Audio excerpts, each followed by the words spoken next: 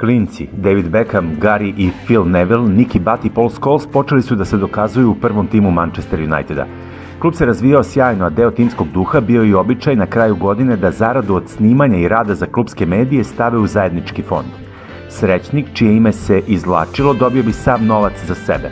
Svi stariji igrači su stavili listiće u kapu, ali su mlađi oklevali jer im je to bio ipak značajan prihod. Od klinaca samo su Nicky Butt i Paul Scholes odlučili da učestvuju u lutriji. Izvučeno je ime tadašnjeg kapitena Erika Cantone, prvog stranca koji je bio kapiten Uniteda. Cantona je dobio oko 32.000 evra u današnjem novcu. Šale su nastavljene i sutra. Eriče, ti srećniče, govorili su mu.